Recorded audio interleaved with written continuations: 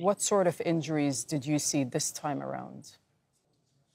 There were blast injuries, uh, which meant that you would see uh, um, huge uh, uh, areas of soft tissue being torn away from the body. There were white phosphorus burns, which were very distinctive. We saw burns from incendiary bombs where there's a fireball and we had over at some one stage in shifa over 100 patients with burns over 40% of their surface body.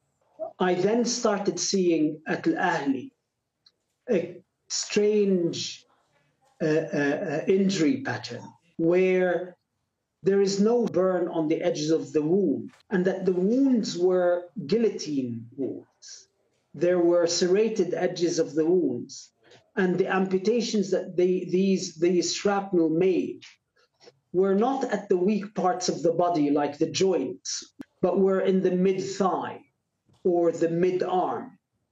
And I saw that when I was in Ahli when it was attacked by an Israeli missile. And then lastly, we started seeing this quadcopter in uh, uh, uh gunshot wounds.